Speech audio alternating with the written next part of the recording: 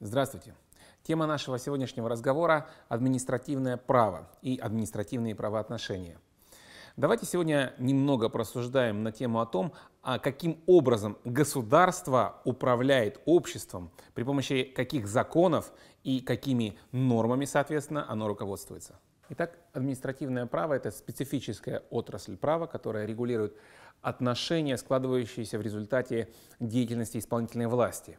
Другими словами, а, если мы имеем два каких-то государственных органа, и между ними а, необходимо наладить взаимодействие, а это неизбежные, а, разумеется, сказать, результаты деятельности исполнительной власти, то тогда он регулируется административными нормами, административными законами и так далее.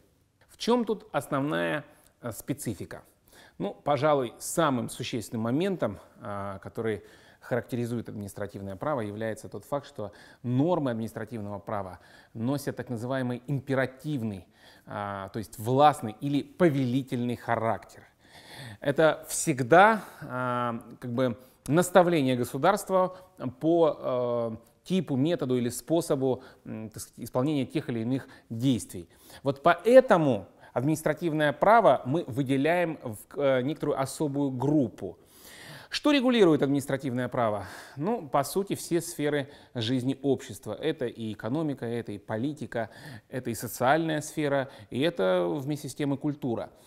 Давайте постараемся, ну, скажем так, по отдельности посмотреть, а что же там э, с чем. И, соответственно, отсюда сделаем выводы о специфике административного э, правоотношения.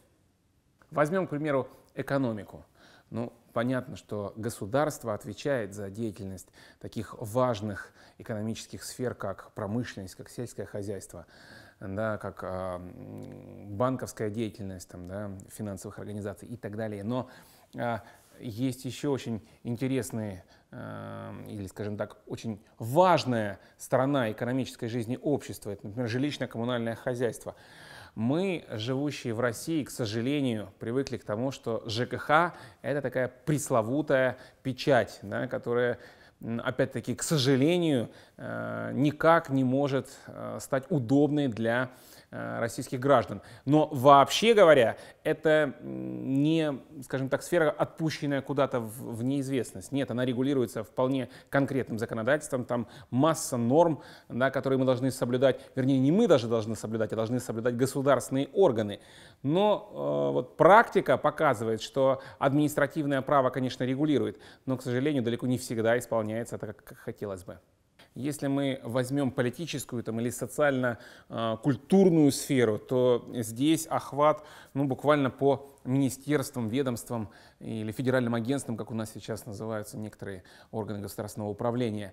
А, например, там, Министерство иностранных дел или Министерство обороны, Министерство внутренних дел, Министерство образования, если мы берем уже социальную сферу, а, там, Федеральное агентство по там, налогам и сборам, там, по культуре и так далее. То есть все эти а, сферы общественной жизни, они находятся под воздействием, под управлением так называемой вертикали власти. Но она действует действует сообразно написанным специально для этой власти законом, потому что а, все это обязательно отрегулировано, обязательно нормировано, потому что, ну, представьте себе ситуацию, если бы мы управляли с людьми, ведомствами, которые ничем не руководствуются, кроме собственных интересов. Ну, боюсь, такое государство вряд ли было бы очень удобным. Давайте немного детализируем. Кто же подпадает, условно э, говоря, ну, не очень конечно, корректный этот термин, но тем не менее, да, вот кто же э, регламентируется, какие органы, какие государственные чиновники э, руководствуются в своей деятельности нормами административного права? Ну, во-первых, это э, практически вся э, система исполнительной власти, как федеральной, э, так и э, орган местного самоуправления мы говорим местное самоуправление, но это не означает, опять-таки, да, что они действуют сообразно собственным интересам. Они действуют в рамках специально разработанного законодательства. Иногда это законодательство, между прочим, принималось даже ими, но опять-таки в рамках общей системы административного права и административных правоотношений. Федеральные чиновники, а, ну, уровень а, федеральных чиновников бывает разный, это, конечно, и губернаторы, и мэры городов, это и э, министры, а, да, это какие-то чиновники высшего ранга. Почему? Да потому что если ты находишься на государственной службе, значит, на тебя, безусловно, распространяются все законы как на гражданина Российской Федерации, но помимо всего прочего, на тебе лежит ответственность по управлению этой а, глобальной системой, да, а значит, ты ответственен вдвойне. Коммерческие и некоммерческие организации также подпадают под административное право, поскольку они занимаются управлением, управлением персоналом, например, там, да, или а, вообще структурированием чего бы то ни было. Есть иерархия, а раз есть иерархия, значит, соответственно, должны быть какие-то нормы, которые эту иерархию э, э регулируют есть начальник, да, или там генеральный директор, есть главный бухгалтер, есть просто бухгалтер, есть менеджер, э, есть там куратор и так далее. Вот как определить систему взаимосвязи между этими людьми? Должно же быть э, что-то, что это все нормирует. Вот такие законы, соответственно, есть. Эти законы, опять-таки, да, эти нормы, они входят в систему административного права. А, простые граждане также, в общем, могут вполне попадать под административное право. Каким образом? Ну, например, вы получаете образование, то есть то, что делаете вы. А, в конечном итоге вы должны получить соответствующий документ. Вы должны получить э, аттестат. А, дальше, когда вы поступите в высшее учебное заведение, вы получите, соответственно, диплом, который будет свидетельствовать о том, что вы специалист там, такого-то уровня там, и так далее. Вот эти документы – это документы, которые государство утверждает в качестве определенного стандарта. То есть оно гарантирует качество вас как специалиста да, при помощи, опять-таки, специально разработанных методик, вписывающихся в рамки административного права и административных правоотношений. Другими словами, а, в общем-то, административное право рассматривает довольно широкий спектр общественных отношений и имеет в своем арсенале, ну, если мы так довольно общо попытаемся объединить административные нормы, то примерно два набора, а, соответственно, законов, норм и предписаний. Речь идет о нормах предписаний и нормах дозволений. Что это означает? Ну, нормы предписания – это некоторое повеление, как мы с вами сказали. Да? Речь идет о том, что э, одним из субъектов э, данного типа правоотношений, безусловно, должно быть государство, и государство нечто нам предписывает, то есть оно нас обязует к чему-то. Либо может идти речь о норме дозволения, то есть когда опять-таки государство выступает в качестве э, такого властного элемента, оно позволяет нечто сделать, но оно как бы этим дозволением и гарантирует определенный набор прав. Например, э, ну вот вы получаете опять-таки, там, диплом о высшем образовании, вам дозволь, дозволено теперь исполнять э, служебные обязанности согласно вашей квалификации там, по профессии там, и так далее. Вот это дозволение вам определено государством, потому что оно вам э, вручает диплом, свидетельствующий о том, что вы специалист. Ну, как мы с вами видим, административное право и административные правоотношения регулируют довольно широкий спектр общественных отношений. И поскольку это довольно большой объем, значит, безусловно, э, мы столкнемся неизбежной ситуацией, когда кто-то будет эти отношения пытаться нарушить. Да? То есть, соответственно, есть люди, нарушающие административное право. Специфика административного права заключается в том, что речь в данном случае идет об проступке. Мы с вами уже говорили об этом. Э, более тяжкие Э, какие-то, так сказать, там посягательства на закон называются преступлениями, и речь о них идет уже в Уголовном кодексе, это тема наших будущих бесед.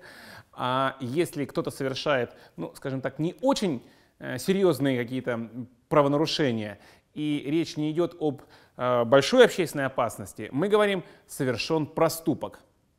Административные правонарушения – это посягательство, в общем, на стандартный набор общественных отношений. Это и э, правонарушение против личности, э, против свобод граждан, э, против общественного порядка, э, против э, собственности, ну и так далее. Речь только идет опять-таки о характере причиненного вреда. И административным правонарушением является, еще раз подчеркнем, э, такой проступок, который не привел к тяжким последствиям. Ну, давайте приведем несколько примеров. Так, если речь идет о правонарушениях против личности, то в данном случае, конечно же, не может быть административное право, да, то есть регулировать такое правонарушение, если речь идет о тяжком вреде здоровью или даже вреде здоровью средней тяжести.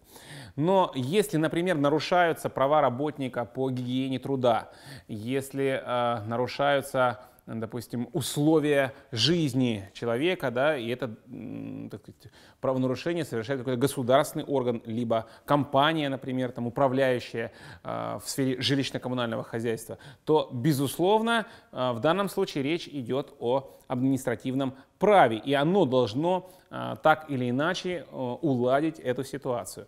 Если мы говорим о правонарушениях, э, допустим, такого характера, как распространение заведомо ложной информации, не приведшей, опять-таки, да, к каким-то тяжелым последствиям, например, потери деловой репутации. Но если, а, тем не менее, кто-то распространяет по отношению к кому-то ложь, ну, в простонародье сплетню, допустим, там, да, то он может быть привлечен к ответственности, потому что а, распространять против кого-то порочащую информацию законом запрещено. Мелкое хулиганство, а, загрязнение окружающей среды, там, допустим, а, мусорить в лесу, э, либо глумление над какими-то культурными объектами, опять-таки не повлекшими за собой каких-то тяжких последствий. Об этом, кстати, мы можем поговорить немножко поподробнее.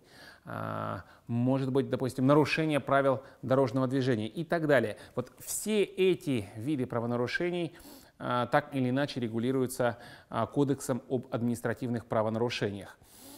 Каковы а, меры государственного воздействия за такие правонарушения? Давайте вкратце охарактеризуем виды административных наказаний, то есть те меры государственного повеления, которые применяются по отношению к лицам, совершившим противоправное деяние в данном случае. Предупреждение, но это самая легкая форма административной ответственности. Далее следует административный штраф, возмездное изъятие орудия совершения и предмета административного правонарушения, конфискация орудия и совершения или предмета административного правонарушения, лишение специального права, ну, в данном случае э, речь идет, например, о водительских правах, административный арест, административное выдворение за пределы Российской Федерации дисквалификация. Итак, как вы видите, довольно широкий спектр э, наказаний государство предусматривает, но все эти наказания не связаны э, с какими-то тяжкими последствиями для лица, совершившего данное правонарушение. Ну, пожалуй, только административный арест. Сейчас у нас э, дозволен административный арест до 30 суток. Это, пожалуй, такая самая серьезная мера. А вот о том, когда государство применяет по-настоящему жесткие санкции по отношению к людям, совершившим противоправное деяние, мы поговорим с вами на следующем уроке.